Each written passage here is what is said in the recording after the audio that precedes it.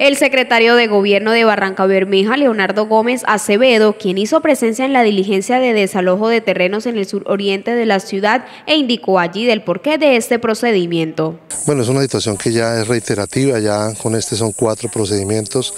de desalojo en un predio que es de propiedad de la empresa de desarrollo urbano de Barranca Bermeja.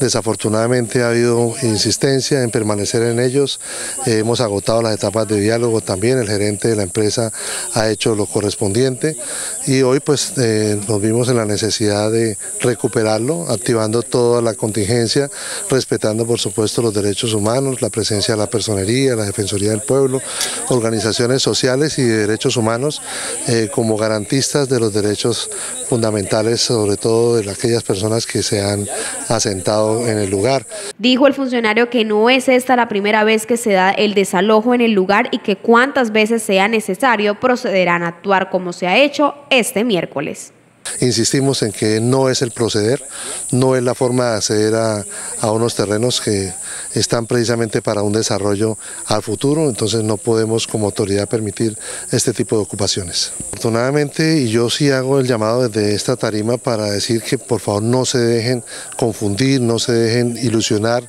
ni tumbar, como decimos en el algo popular. Esto no está para la venta, no caigan de manera inocente en ese tipo de propuestas. Hay personas eh, que ya están siendo de alguna forma identificadas, que tienen ese proceso como negocio, aprovechándose la necesidad y causándolos y poniéndolos como barrera ante las intervenciones que ha habido que hacer. Indicó Gómez Acevedo que el gobierno local entiende la problemática del déficit de vivienda en Barranca Bermeja y para ello la alcaldía traza desde ya en su plan de desarrollo 2020-2023 lo que será la alternativa para brindar techo digno a quienes hoy lo reclaman.